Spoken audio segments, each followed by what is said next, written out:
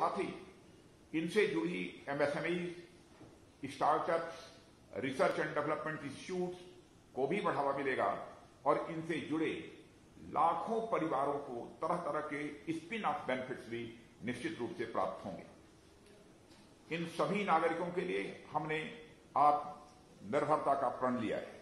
इसी संदर्भ में मुझे ये बताते हुए बेहद खुशी हो रही है कि हमने पहली बार 101 आइटम्स की एक ऐसी सूची निकाली है, जो अब हम किसी भी सूरत में इंपोर्ट नहीं करेंगे। एक बहुत बड़ा संकल्प हम लोगों ने लिया है, यह नेगेटिव लिस्ट इंपोर्ट की तैयार करके। और इस सूची को हम नेगेटिव लिस्ट कहते हैं, जिसमें सिर्फ़ स्मॉल आइटम्स ही नहीं, बल्कि हाई और क्रिटिकल टेक्नोलॉजी वाले वेपन सिस्टम भी शामिल हैं। जैसे artillery guns assault rifles light combat aircraft etcetera आने वाले समय में इस सूची में हम और भी आइटम्स डालेंगे, जिससे हम करोड़ों के इंपोर्ट्स को बचा सकें। साथियों, आज मुझे हमारे डिफेंस पीएसयूज और आर्डनेस फैक्ट्री बोर्ड के इस दिशा में एक बड़ा कदम बढ़ाते देखकर एक खुशी भी हो रही है और साथ ही साथ मुझे गौरव की भी अनुभूति हो रही है। ये इंडस्ट्रीज़ हमारी फोर्सेस के पीछे की एक बहुत बड़ी फोर्स है। हमारी सेनाएँ जो सीमा पर निर्भयता के साथ देश की सुरक्षा में लगी हुई हैं, उनके पीछे उनकी अहम भूमिका है।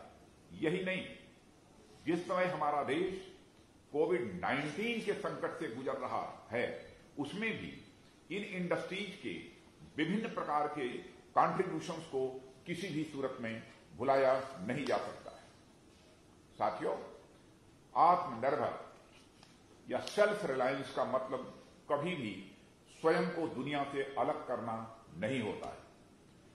मुझे पूर्व प्रधानमंत्री श्री अटल बिहारी वाजपेयी का एक कथन याद आता है।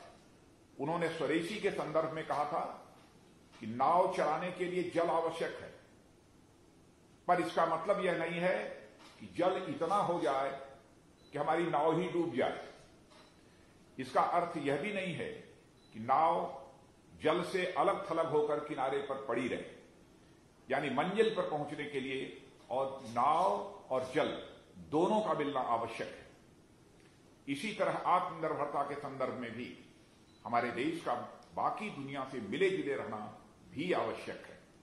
परंतु उसके साथ साथ देश की महत्ता का भी बने रहना ये बहुत ही ज़रूरी है।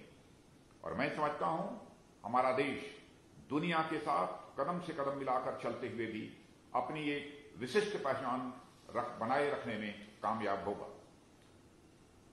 इस तरह के आयोजनों की इसमें बहुत बड़ी भूमिका होगी ऐसा मेरा विश्वास होगा। इसी दिशा में बढ़ने के लिए हम आत्मनिर्भर सप्ताह मना रहे हैं जिसपे हम कुछ ऐसे कदम उठाएँगे जो हमें इस दिशा में बढ़ने के लिए हम आत्मनिर्भरता सप्ताह मना रहे हैं जिससे हम कुछ ऐसे कदम उठाएँगे जो हम इंडिजनाइजेशन, डिफेंस इंफ्रास्ट्रक्चर में इन्वेस्टमेंट तथा डिफेंस मैन्युफैक्चरिंग कैपेबिलिटी में एक्सपेंशन की ओर ले जाएगा। आज का यह इवेंट फैसिलिटीज़ के मॉडर्नाइजेशन अपग्रेडेशन और एक नए इंफ्रास्ट्रक्चर के क्रिएशन पर फोकस्ड है, जो हमारी इंडिजियस इंडिजिनस कैपेसिटी और कैपेबिलिटी बिल्डिंग को भी बढ़ावा देगा। इसमें स्किल डेवलपमेंट सेंटर बीईएमएल में mission and industrial design centre, न केवल हमारी वर्तमान जरूरतों को पूरा करेंगे, बल्कि साथ ही इनोवेटिव थिंकिंग को भी बढ़ावा देंगे, जिससे हमारा भविष्य में मार्ग प्रशस्त होगा। इसी तरह GRSE OLF Dehradun ordnance factory Chanda में शुरू किए जा रहे मॉडर्नाइजेशन ऑफ़ फैसिलिटीज़ से हमारी आर्म फोर्सेज आधुनिक तो बनेंगी ही। साथ ही हम दूसरे देशों की बजाय अपने ऊपर निर्भरता की ओर आगे बढ़ेंगे। साथियों, इसमें कोई संदेह नहीं कोविड 19 के कारण हमारा देश ही नहीं, बल्कि पूरी दुनिया की establish supply chains liquidity travel transport आदि बुरी तरह प्रभावित हुए हैं।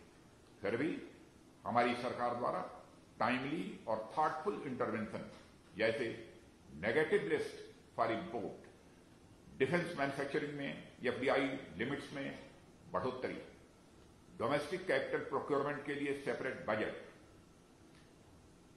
इंडजनाइजेशन के ऊपर विशेष ध्यान देने आदि के कारण इंडियन डिफेंस इंडस्ट्री को सिग्निफिकेंट अपॉर्चुनिटी उपलब्ध कराई जा रही है। डिफेंस के क्षेत्र में आत्मनिर्भरता का यह एक महत्वपूर्ण प्रयास है। आप सभी इस ऐतिहासिक यात्रा में अपना बहुमूल्य योगदान दे रहे हैं। इसके लिए मैं आप सबकी सराहना करता हूँ और मैं इस आत्मनिर्भर सप्ताह की सफलता की कामना करता हूँ और आप सभी को मैं अपनी हार्दिक शुभकामनाएँ भी देता हूँ। बहुत बहुत धन्यवाद। जय हिंद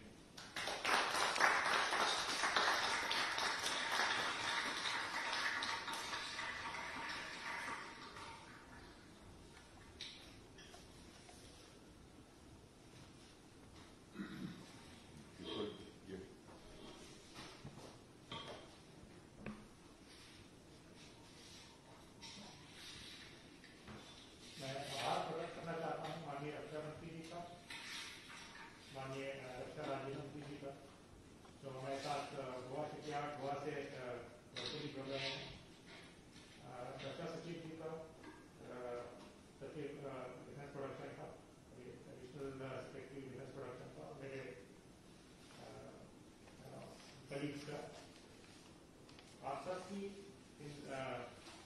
का जो लॉन्च हुआ है मुझे विश्वास है आत्मनिर्भरता की तरफ़ एक ये छोटा सा कदम है लेकिन आगे आने वाले समय में इनका एडवांटेज इनकी अ, अ, जो हमें एडवांटेज मिलने वाली है वो हम आ, आगे देखेंगे आप सभी का बहुत बहुत धन्यवाद थैंक यू